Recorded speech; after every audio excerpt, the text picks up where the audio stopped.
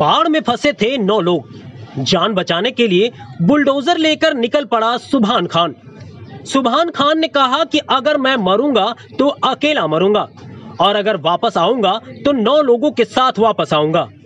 तेलंगाना के खम्मम ज़िले में बाढ़ के बीच एक पुल पर फंसे नौ लोगों को बचाने के लिए हरियाणा के सुभान खान ने बुलडोजर चलाया।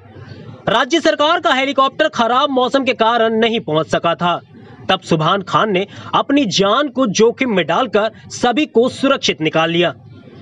आपको ज्ञात हो कि तेलंगाना में भारी बारिश से हाहाकार मचा हुआ है।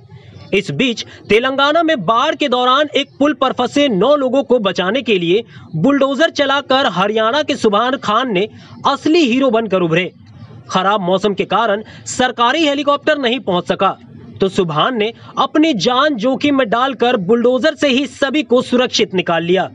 उनके इस हिम्मत की सभी तारीफ़ कर रहे हैं। वहीं विपक्षी नेता केटीआर से खास तौर पर फ़ोन करके बधाई दी है। क्या है पूरा मामला?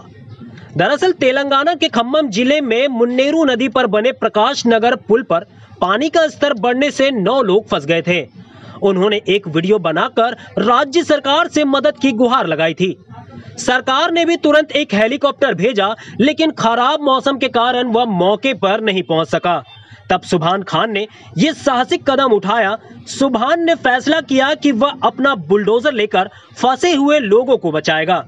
दूसरों ने उन्हें जोखिम के प्रति आगाह भी किया था और जाने से मना भी किया था।